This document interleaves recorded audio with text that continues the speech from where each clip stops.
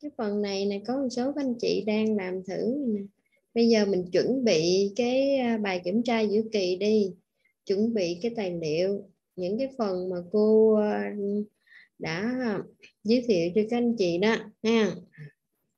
Trong các cái buổi đó, thì mình coi, rồi tí xíu nữa mình sẽ có cái kỳ, cô sẽ mở lên cái kiểm tra này cho các anh chị. Được chưa? Có thắc mắc gì thì hỏi liền và từng người hỏi, cô giải đáp từng người. Nha được chưa? Còn anh chị nào mà đã chuẩn bị xong bài rồi, chuẩn bị tài liệu gì đó để kiểm tra giữa kỳ lúc mà 7 giờ này nè, thì có thể làm cái phần thực hành này. Hiểu chưa?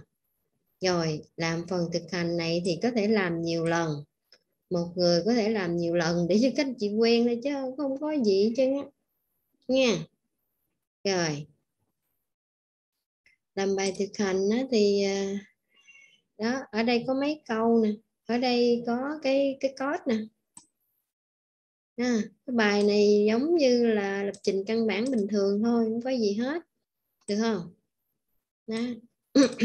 rồi cái phần này điền vào đáp án ở đây là cái gì? Ừ, là điền cái câu gì đó để in ra cái màn hình cái ờ, phé kết quả của phép cộng này được chưa? Ở đây trắc nghiệm chọn một trong các cái này chọn câu đúng nhất nha. À, coi cái nào đúng nhất. Đó thì chọn thôi ví dụ chọn câu này. À, tiếp. Tùy thôi. Đó câu này cũng vậy. Ví dụ như đây người ta cho cái cấu trúc này cấu trúc này là dạng gì? Mà trận kề nè hôm trước cô giảng rồi phần nào cô giảng rồi cô mới cho chứ đâu phải cô tự nhiên cô cho đâu nha. Ừ. rồi cái này đó là, là mảng hai chiều phải không? Mảng a hai chiều đúng rồi. Mà cấu trúc của một cái cấu trúc đồ thị nè. À rồi cái này là khởi tạo hàm khởi tạo này là bring ra in cái đồ thị này ra. Theo cái dạng là mai trận kề rồi ta yêu cầu mình thêm viết cái cái hàm ví dụ như thêm cung vào. Làm thêm cung thêm cung re, mà lưu, cái, cái hàm mà chỗ cái, này nè. cái hàm regap đó là mình tự mình tự đặt mình tự định nghĩa. Ráp này tự định nghĩa dạ, cấu trúc dạ. nè đang đang nghĩa cấu trúc của nó nè bảy giờ mới làm có... bài tập hả cô? Đúng rồi 7 giờ vô 7 giờ cô mở. Hồi nãy em mở lên thấy có ba câu chắc không phải đó hả cô? Nãy giờ nói mà không nghe vậy chứ. Đây cô đưa con chat nè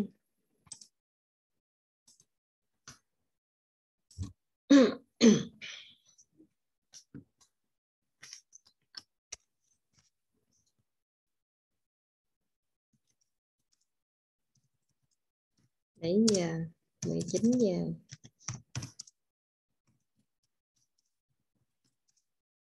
Làm bài kiểm tra nha.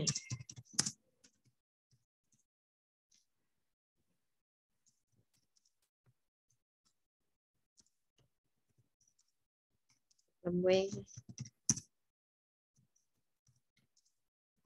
Bài tập.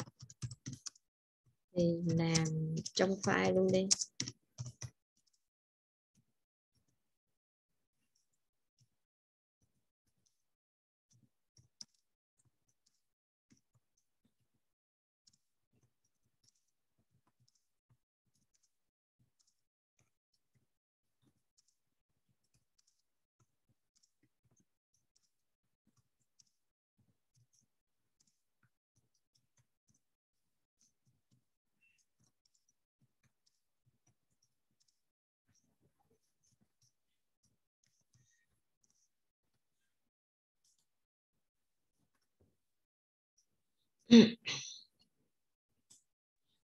Còn thì chỗ cái mảng A mà mình cho 100 phần tử đó con nó khác với mình cho A mát luôn là nó khác nhau chỗ nào tại vì mình giới hạn 100 hay là, là mình nếu mà mình để mát thì nó tốn bộ nhớ nhiều nó không có tối ưu hơn hay sao?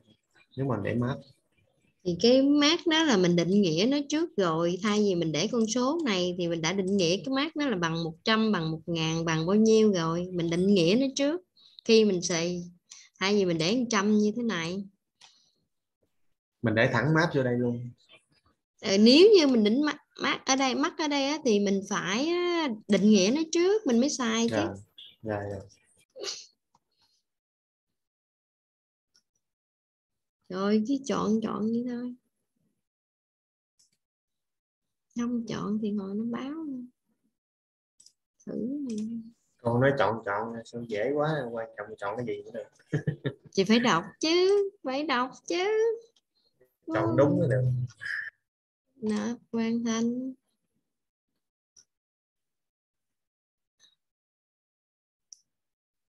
câu này chưa trả lời nè câu số 1 quay lại nếu còn thời gian quay lại chọn. Của câu nãy câu mấy? Câu số 2 chứ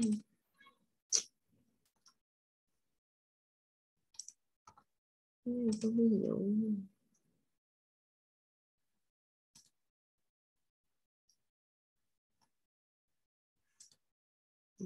kết thúc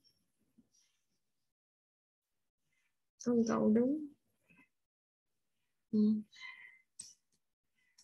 điểm này. Điểm này trên 13 câu vậy không được chưa?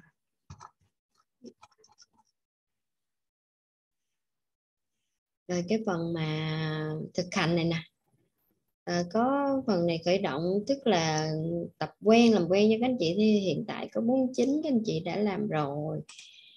À, nói chung làm cũng được mình vào mình làm thử coi. Đó có mấy câu đó. Nha thi thì giả sử như có thi uh, cuối kỳ mà thực hành á thì cô cũng có thể cô cho một số câu này với một bài code chẳng hạn có ví dụ như vậy nha à đó. Một bài code. Thì cái này nè, các anh chị, nếu như để mình làm được điều này á, giả sử như để làm được câu này thì thường nè, ở đây người ta cho đoạn chương trình này sẵn nè. Các anh chị copy vô, bên mở cái Depsy lên. Rồi copy qua bên Depsy rồi chạy thôi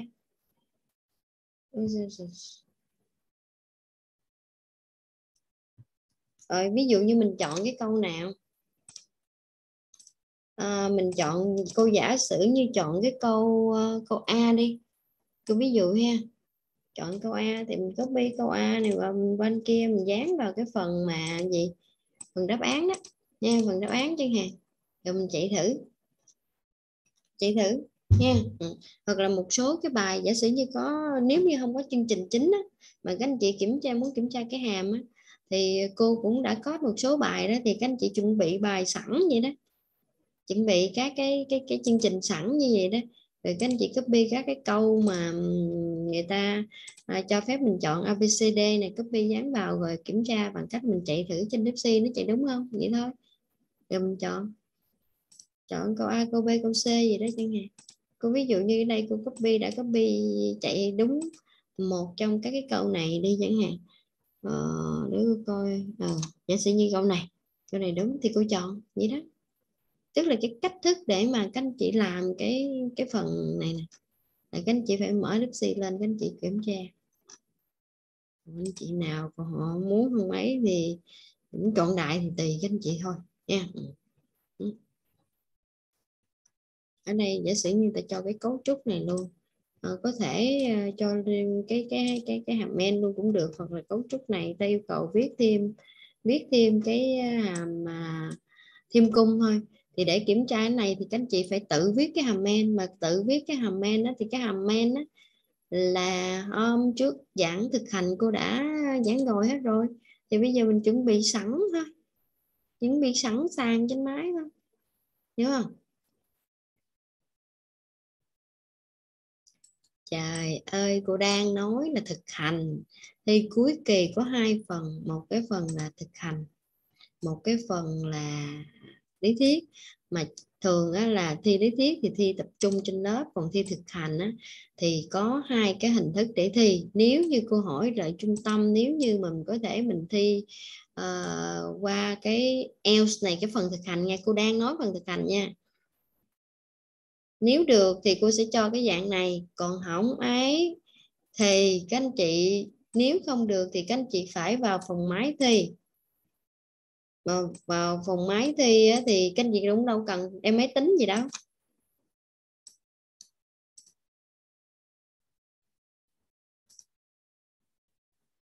Cái phần thực hành á à, cho nên là cái điểm mà cuối kỳ 70 phần trăm là vừa thực hành với vừa lý thuyết nè nha vừa thực hành vừa lý thuyết tỷ lệ của nó thì nói chung là cái phần lý thuyết các anh chị thi tập trung đó, thì nó có thể là nó sẽ cao hơn cái phần thực hành này nha cao hơn.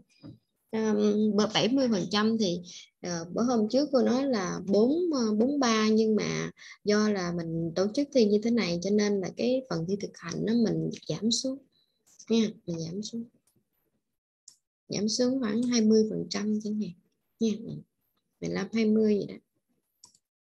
Được chưa? Ừ.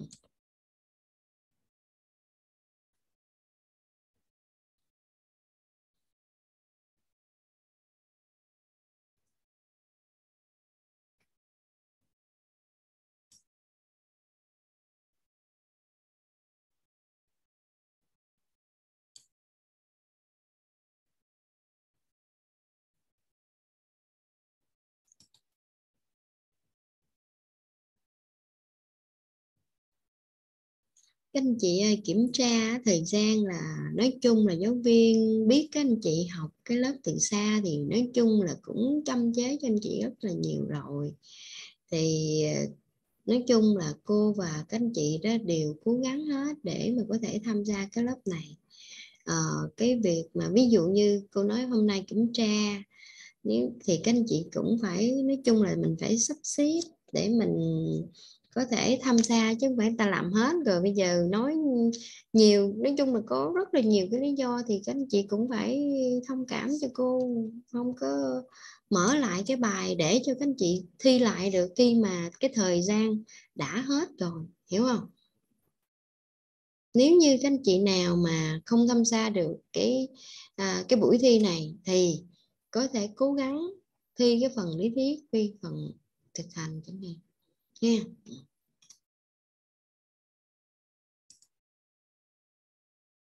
Rồi. Còn cái cái phần bài tập nè. Cái phần bài tập mà cô ờ, cô cũng đã gửi trên đây rồi, đúng không?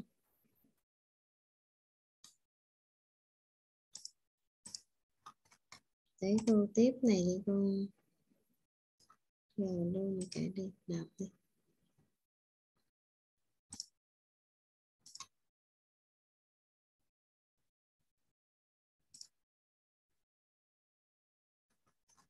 Còn cái bài tập á bài tập nè bài tập về nhà nè. Anh chị nào làm trước thì nộp trước ra, không có gì hết trơn cái bài này cô cũng gửi cái file Excel cho các anh chị.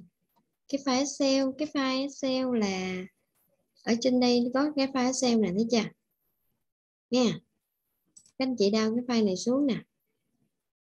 Nha rồi bổ sung tên của mình vào cái cái cái cái cái sheet mà bài tập Ừ, về nhà đó. Thế chưa bổ sung tên với mã số sinh viên của mình vào. Nha à, cô ví dụ này để cô ở đây cô đào xuống rồi ha cô mở lên cô xe lại cái màn hình này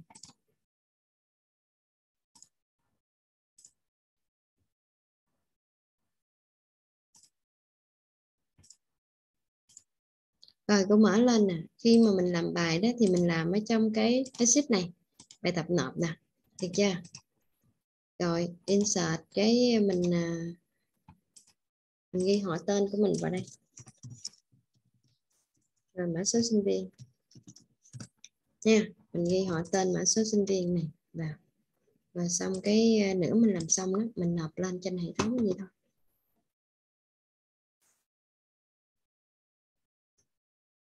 Được không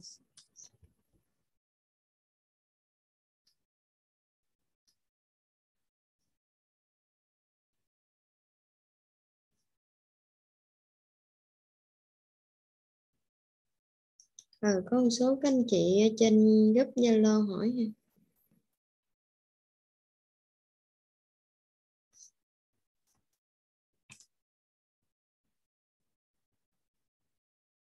rồi vậy ha. À rồi để cô coi có một số các anh chị trên group zalo hỏi gì đây sửa mấy cái câu hả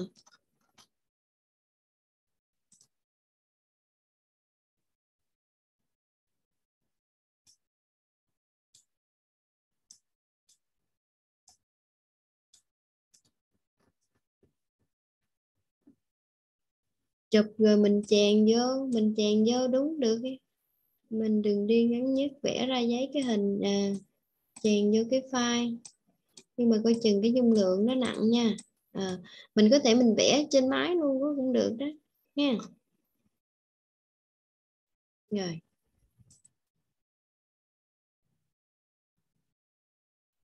À có anh chị phân đôi rồi chị bật ca.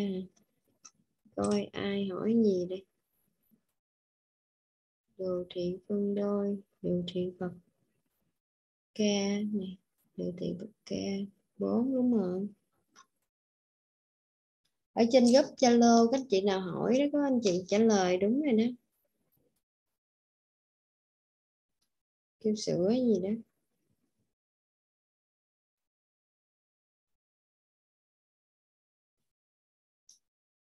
Mình sửa câu nào nữa? À bài đồ thị có chứa chu trình hay câu có chứa chu trình ha. Các anh chị nào trên group Zalo có thể sửa cái câu ờ, đồ thị ghê có chứa chu trình không? Mình câu coi. Chu trình nào chu trình nào? Câu nào đúng? ABCD gì? tại vì tùy nha các anh chị các anh chị để ý nha mỗi mỗi các anh chị á, là cái ờ, kết quả cái đáp án nó khác nhau nha. Cho nên là ABC á cái câu ờ, cái đáp án là BC nó khác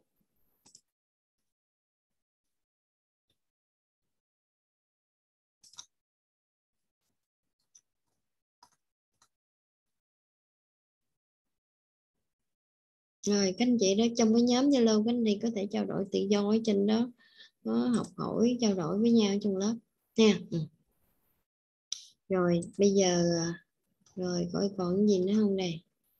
Nộp bài tập về nhà chuẩn bị rồi. À, cuối. Như vậy thì để cô coi đây. À, tuần mình học hết tuần này nha. Tuần sau. Tuần sau. Tuần sau thì bài tập về nhà giữa kỳ là 30 phần trăm rồi anh chị nào không rõ hỏi lại lớp giùm cô nha không trả lời nữa nha. Rồi um, rồi bây giờ bây giờ nè. À, cô dự kiến là thứ sáu mình kiểm tra mình học có hai buổi nữa. Có thứ uh, thứ sáu với thứ tư tuần sau nè? Rồi tới thứ uh, mấy đây thứ sáu mình kiểm tra. Uh, kiểm tra cái phần thực hành được không? Thực hành được không? Câu hỏi này trung tâm chắc là thi thực hành ở trên này được. Cho các anh chị dễ.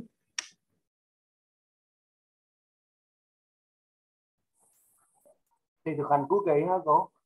Đúng rồi. 21 có được không hay là muốn 28 qua tháng 11 được không cô? Đầu tháng 11 cô à tại vì tháng 10 nó nhiều viễn cô à Thôi vậy thì cô kết thúc ở 28 luôn rồi. Tại vì tháng 11 là các anh chị thi cuối kỳ hết á.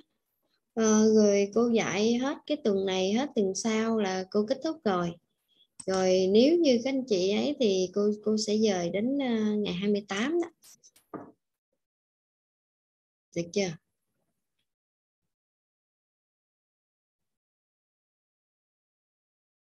được không, các anh chị ơi? Để coi các anh chị nào hỏi gì đây.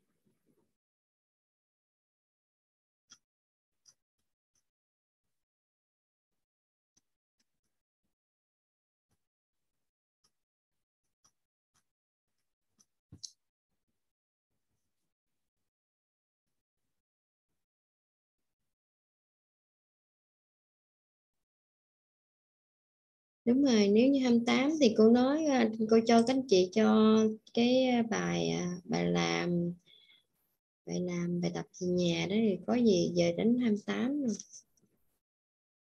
26 hoặc 28 tại vì lớp mình là hình như kết thúc là bữa 21 rồi nè. Mà 28 không biết các anh chị khác có đụng lịch gì không? Để cô hỏi lại.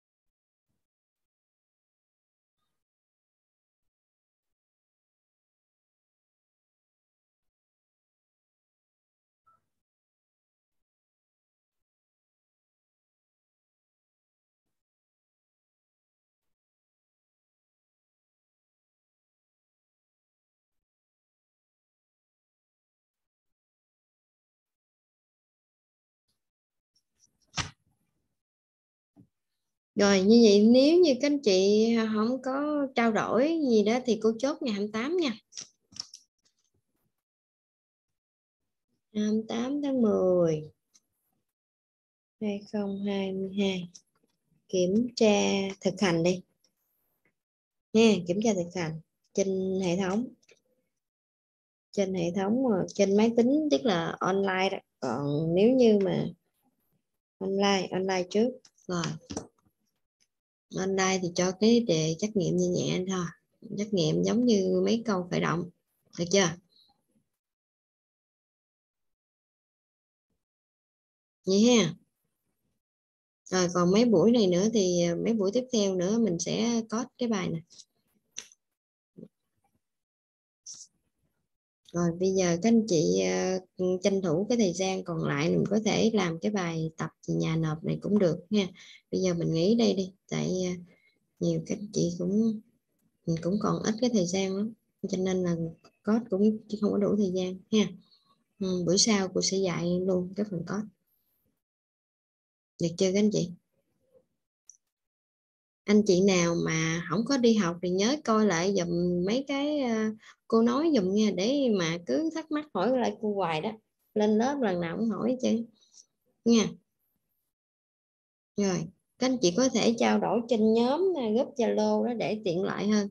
Đỡ tránh mất cái nhiều cái thời gian cho các bạn trong lớp nữa. Rồi, vậy nghe các anh chị. 28 tháng 10 sau 22 kiểm tra